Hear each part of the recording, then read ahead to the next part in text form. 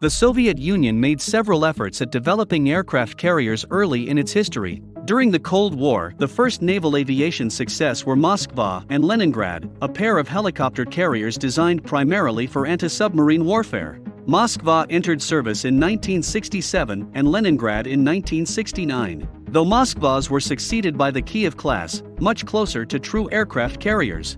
Displacing 45,000 tons, the four Kievs could make 32 knots and carry a combination of about 30 helicopters and Yak 38 VSTOL fighters. All of these ships left service at the end of the Cold War, the Moskvas and one of the Kievs were scrapped, two Kievs ended up as museums in China and one was eventually reconstructed and sold to India as INS Vikramaditya. In the 1980s, the Soviet Union laid down its first two true carriers, although only one, the Admiral Kuznetsov was completed before the collapse of the country.